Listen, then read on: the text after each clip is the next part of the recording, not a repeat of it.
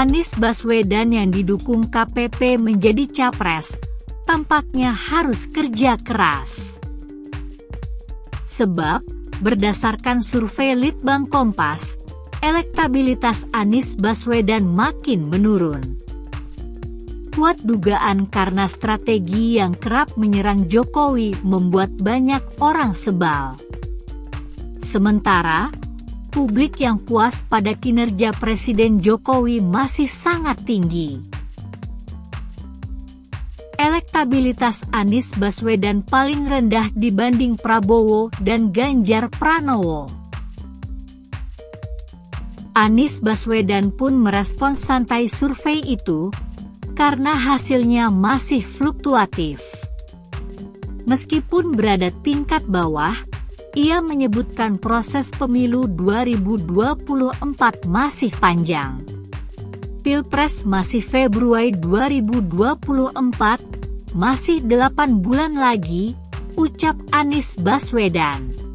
Ia mengatakan, hasil survei yang dilakukan jauh sebelum Pilpres masih fluktuatif sehingga hal ini menjadikan pihaknya akan menata rencana serta strategi.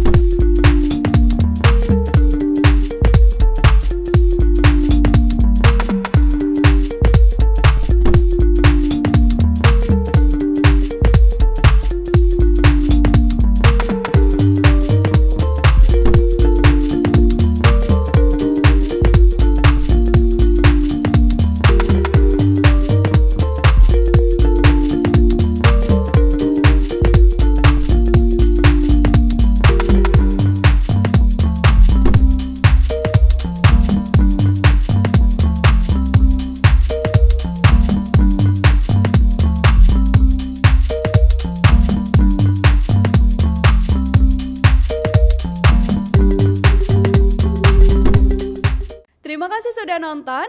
Jangan lupa like, subscribe, dan share ya.